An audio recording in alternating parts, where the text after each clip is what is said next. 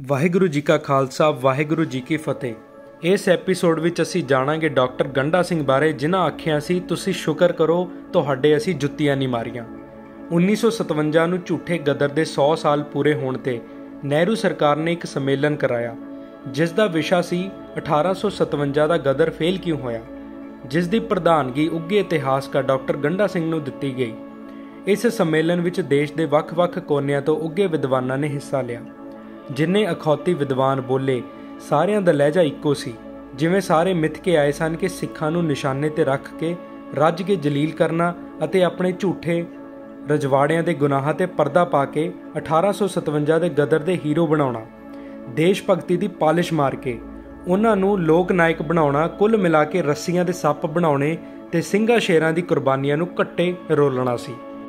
ਪਰ ਪ੍ਰਧਾਨਗੀ ਕਰ ਰਹੇ ਗੁਰੂ ਦੇ ਸਿੰਘ ਤੋਂ ਜਲਾਲਤ ਤੇ ਕੁਫਰ ਬਰਦਾਸ਼ਤ ਨਾ ਹੋਏ। ਅਤੇ ਡਾਕਟਰ ਸਾਹਿਬ ਜਾਣਗੇ ਪ੍ਰਧਾਨਗੀ ਦੀ ਮਿਠਾਸ ਵਿੱਚ ਜ਼ਹਿਰ ਦੇਣ ਦੀ ਕੋਸ਼ਿਸ਼ ਕੀਤੀ ਗਈ ਹੈ। ਡਾਕਟਰ ਗੰਡਾ ਸਿੰਘ ਚੇਤਨ ਤੇ ਗੁਰੂ ਨੂੰ ਸਮਰਪਿਤ ਜਾਗਦੀ ਜ਼ਮੀਰ ਵਾਲੇ ਤਖਤਾਂ ਤਾਜਾਂ ਨੂੰ ਠੋਕਰ ਮਾਰਨ ਵਾਲਿਆਂ ਦੇ ਵਾਰਿਸ ਸਨ।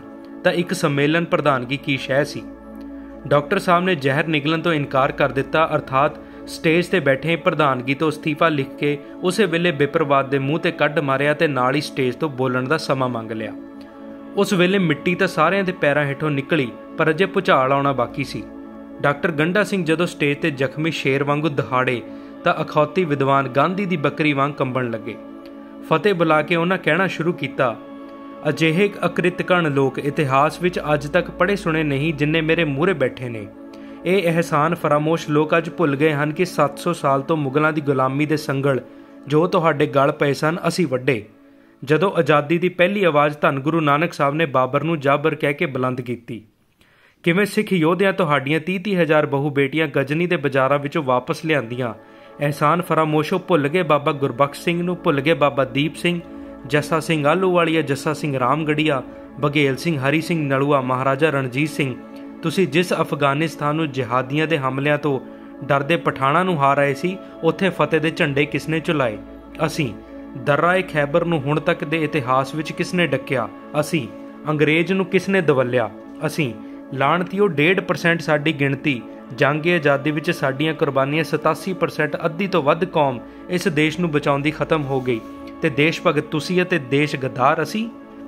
ਗੱਲ ਕਰੀਏ 1857 ਦੇ ਗਦਰ ਦੀ ਜਿਸ ਨੂੰ ਤੁਸੀਂ ਦੇਸ਼ ਦੀ ਆਜ਼ਾਦੀ ਲਈ ਲੜੀ ਗਈ। ਪਹਿਲੀ ਜੰਗ ਐਲਾਨਦੇ ਹੋ। ਆਜ਼ਾਦੀ ਨਾਲ ਤਾਂ ਉਸ ਦਾ ਕੋਈ ਵਾਹ ਵਾਸਤਾ ਹੀ ਨਹੀਂ। ਇਹ ਤਾਂ ਮੇਰਠ ਛੌਣੀ ਤੋਂ ਧਰਮ ਦੇ ਨਾਂ ਤੋਂ ਭੜਕੀ ਇੱਕ ਚਿੰਗਾਰੀ ਸੀ। ਹਿੰਦੂ ਭੜਕੇ ਕਿ ਬੰਦੂਕ ਦੇ ਰੌਂਦ ਨੂੰ ਗਊ ਦੀ ਚਰਬੀ ਲੱਗੀ ਹੁੰਦੀ ਹੈ। ਮੁਸਲਮਾਨ ਤਾਂ ਭੜਕੇ ਕਿ ਰੌਂਦ ਨੂੰ ਸੂਰ ਦਾ ਮਾਸ ਲੱਗਿਆ ਹੁੰਦਾ ਧਰਮ ਦੇ ਨਾਂ ਤੇ ਹੋਇਆ ਹੁੜਦੰਗ ਆਜ਼ਾਦੀ ਦੀ ਲੜਾਈ ਕਿਵੇਂ ਬਣਿਆ? ਝਾਂਸੀ ਦੀ ਰਾਣੀ, ਜਿਸ ਨੂੰ ਤੁਸੀਂ ਆਜ਼ਾਦੀ ਦੀ ਰਾਣੀ ਦੇ ਰੂਪ ਵਿੱਚ ਸਿਖਰਾਂ ਤੇ ਚਾੜਿਆ, ਉਸਨੇ ਕਿਹੜੀ ਆਜ਼ਾਦੀ ਦੀ ਲੜਾਈ ਲੜੀ ਸੀ? ਉਸ ਦਾ ਪਤੀ ਸਿਰੇ ਦਾ ਸ਼ਰਾਬੀ ਤੇ ਜ਼ੁਲਮੀ ਰਾਜਾ ਸੀ।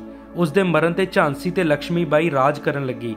ਇਸ ਨੇ ਝਾਂਸੀ ਦੀ ਗਰੀਬ ਪ੍ਰਜਾ ਤੇ ਜ਼ੁਲਮ ਕੀਤੇ ਪ੍ਰਜਾ ਅੰਗਰੇਜ਼ ਕੋਲ ਜਾ ਫਰਿਆਦੀ ਹੋਈ ਅਤੇ ਅੰਗਰੇਜ਼ਾਂ ਨੇ ਝਾਂਸੀ ਤੇ ਕਬਜ਼ਾ ਕਰ ਲਿਆ। ਇਸ ਤੋਂ ਬਾਅਦ ਇਸ ਨੇ ਤਿੰਨ ਚਿੱਠੀਆਂ ਅੰਗਰੇਜ਼ਾਂ ਨੂੰ ਲਿਖੀਆਂ। ਪਹਿਲੀ ਵਿੱਚ ਇਸ ਨੇ ਲਿਖਿਆ ਕਿ ਮੈਨੂੰ 2 ਲੱਖ ਰੁਪਏ ਮਹੀਨਾ ਪੈਨਸ਼ਨ ਲਈ ਜਾਵੇ। ਅੰਗਰੇਜ਼ਾਂ ਨੇ ਇਹ ਕਹਿ ਕੇ ਨਾ ਕਰ ਦਿੱਤੀ ਕਿ, ਬੀਬੀ, ਜੇ ਤੇਰੇ ਔਲਾਦ ਹੁੰਦੀ ਤਾਂ ਪੈਨਸ਼ਨ ਲੱਗ ਸਕਦੀ ਸੀ, ਤੇਰੇ ਕੋਈ ਬੱਚਾ ਨਹੀਂ, ਇਸ ਕਰਕੇ ਤੈਨੂੰ ਪੈਨਸ਼ਨ ਨਹੀਂ ਲਾ ਸਕਦੇ। ਇਸ ਨੇ ਆਪਣੇ ਵਫਾਦਾਰਾਂ ਦੀ ਸਲਾਹ ਤੇ ਇੱਕ ਬੱਚਾ ਗੋਦ ਲੈ ਲਿਆ ਅਤੇ ਦੂਜੀ ਚਿੱਠੀ ਲਿਖੀ ਕਿ ਹੁਣ ਮੈਂ ਬੱਚਾ ਗੋਦ ਲੈ ਲਿਆ, ਇਸ ਕਰਕੇ 10 ਲੱਖ ਸਾਲਾਨਾ ਪੈਨਸ਼ਨ ਲਈ ਜਾਵੇ। ਅੰਗਰੇਜ਼ਾਂ ਜਵਾਬ ਦਿੱਤਾ ਕਿ ਜੇ ਰਾਜੇ ਦੇ ਜਿਉਂਦੇ ਗੋਦ ਲਿਆ ਹੁੰਦਾ, ਪੈਨਸ਼ਨ ਲੱਗ ਸਕਦੀ ਸੀ, ਹੁਣ ਨਹੀਂ। ਫਿਰ ਝਾਂਸੀ ਦੀ ਰਾਣੀ ਨੇ ਤੀਜੀ ਚਿੱਠੀ ਅੰਗਰੇਜ਼ਾਂ ਨੂੰ ਲਿਖੀ ਕਿ 2 ਲੱਖ ਰੁਪਏ ਦੇ ਦੇ ਦਿਓ, ਝਾਂਸੀ ਸਮੇਤ ਮੈਂ ਤੁਹਾਡੀ ਹੋਈ ਅਤੇ ਮੇਰੇ ਸਿਪਾਹੀ ਤੁਹਾਡੀ ਵਿਰੋਧੀਆਂ ਦੇ ਵਿਰੁੱਧ ਲੜਨ ਵਿੱਚ ਮਦਦ ਕਰਨਗੇ। ਜਾਣੀ 2 ਲੱਖ ਰੁਪਈਆ ਲਈ ਉਹ ਅੰਗਰੇਜ਼ਾਂ ਨਾਲ ਮਿਲ ਕੇ ਭਾਰਤੀ ਲੋਕਾਂ ਨੂੰ ਮਾਰਨ ਲਈ ਆਪਣੇ ਸਿਪਾਹੀ ਭੇਜਣ ਲਈ ਤਿਆਰ ਸੀ। ਇਹ ਤਿੰਨੇ ਚਿੱਠੀਆਂ ਲੰਡਨ ਵਿੱਚ ਪਈਆਂ ਹਨ। ਅੱਗੇ ਡਾਕਟਰ ਗੰਡਾ ਸਿੰਘ ਨੇ ਕਿਵੇਂ ਲਾਣਤਾ ਪਾਈਆਂ, ਸੁਣਾਂਗੇ ਅਗਲੇ ਐਪੀਸੋਡ ਵਿੱਚ। ਵਾਹਿਗੁਰੂ ਜੀ ਕਾ ਖਾਲਸਾ, ਵਾਹਿਗੁਰੂ ਜੀ ਕੀ ਫਤਿਹ।